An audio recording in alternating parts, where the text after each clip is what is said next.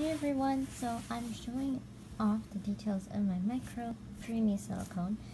Um, when I bought her, she was a baby because the artist was practicing painting on silicone.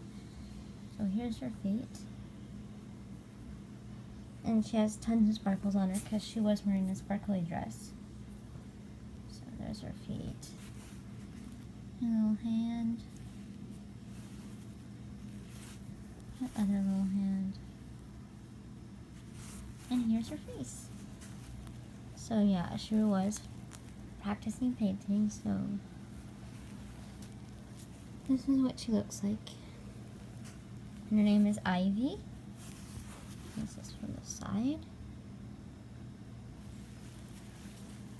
And this side.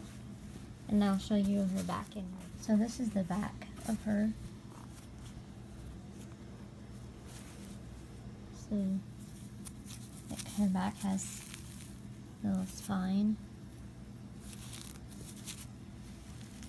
And then her front has like, you can see the, the ribs and her belly is not formed yet. And her little belly button. And I will be showing her um,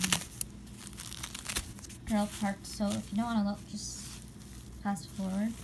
But it looks like this, and her little butt looks like this.